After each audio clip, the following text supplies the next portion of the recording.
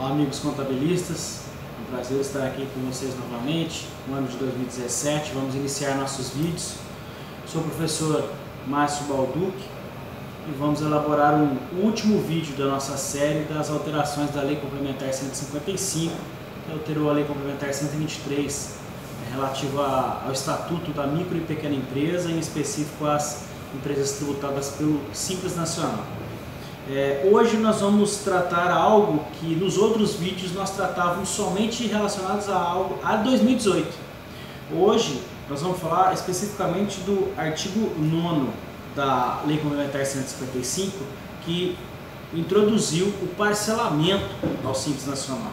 Mas antes mesmo de tratar disso, eu gostaria de frisar o artigo 79E, que é das alterações que foram introduzidas pela Lei Complementar 155 na Lei Complementar 123, que diz que a empresa de pequeno porte optante pelo Simples Nacional em 31 de dezembro de 2017, que durante o ano calendário de 2017, ou seja, neste ano que nós estamos, a oferir receita bruta total anual entre 3 milhões e 600 e 4 milhões e 800, continuará automaticamente incluída no Simples Nacional com efeitos a partir de 1 de janeiro de 2018. Ou seja, em 2017 o limite continua sendo 3 milhões e 600.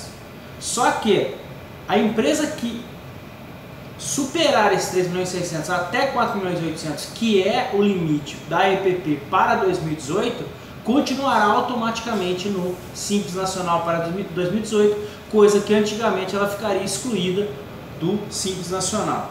Outro, outro fator importantíssimo da alteração trata aqui no artigo 2 da Lei Complementar 155, que ficou revogado o anexo 6. Então nós temos agora no Simples Nacional, voltamos a ter cinco anexos, não mais seis anexos. As atividades do anexo 6 foram alocadas em alguns outros é, anexos anteriores, é, anexo tipo 3, 4 ou 5. Agora em específico, ao artigo 9 artigo 9 da Lei Complementar 155 que trata do parcelamento. O parcelamento não tem nada de anormal, né? A única coisa que fala da lei complementar, eu trago para vocês a, a resolução 132 do Comitê Gestor do Simples Nacional de, de, de 6 de dezembro de 2016, foi publicado no dia 12 de dezembro de 2016, onde regulamenta o parcelamento. Não traz nenhuma coisa, nada muito diferente do que traz a lei complementar, mas diz que os parcelamentos, as empresas do Simples Nacional podem parcelar os seus débitos com a Receita Federal ou com a Procuradoria Geral da Fazenda Nacional. As parcelas serão em no máximo 120 prestações poderão ser parcelados débitos vencidos até maio de 2016. Então, se você tem débito na Procuradoria ou na Receita até maio de 2016, você pode fazer o seu parcelamento normalmente. No parcelamento, para cada parcela, nós teremos o acréscimo da taxa Selic, para cada parcela normal, para qualquer outro parcelamento. Se você aderir ao parcelamento, será uma confissão de dívida, importa confissão irretratável da sua dívida se você tiver com débitos na dívida ativa da Procuradoria, você vai pagar também custas, emolumentos e demais encargos, também será incluso na dívida. E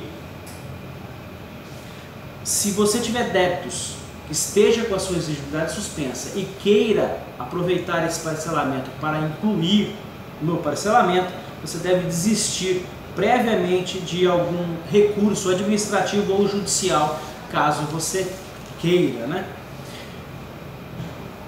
Fator importantíssimo para fazer o parcelamento você não precisa dar garantia nenhuma. Basta solicitar o parcelamento, fazer a requisição de adesão ao parcelamento, não precisa dar garantia do parcelamento. Em alguns parcelamentos anteriores precisava também da garantia, salvo se você tiver uma execução fiscal e nessa execução fiscal tiver bens dados em garantia que suspende a exigibilidade do crédito. Os, os bens permanecerão é, suspensos, o débito permanecerá suspenso, os bens permanecerão na garantia, não sairão até você liquidar todo o parcelamento. É, será consolidada a dívida, toda a dívida será consolidada na data do requerimento da solicitação e será dividida em número de prestações que forem indicadas pelo contribuinte, pelo sujeito passivo. Se eu quero em 10, 20, 50, 60, 100 prestações, é o contribuinte que indica, no máximo, lembrando, até 120, e não pode ter débito inferior a 300 reais. A parcela não pode ser menor que 300 reais. Então essa é a divisão que você vai ter.